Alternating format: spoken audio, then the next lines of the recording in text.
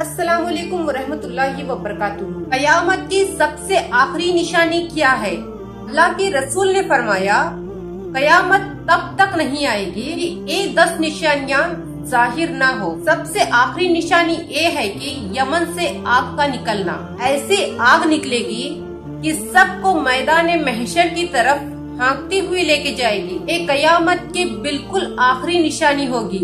जिसके बाद हज़रत इजराफिल सलाम सुर फूक देंगे। आसमान फट जाएगा।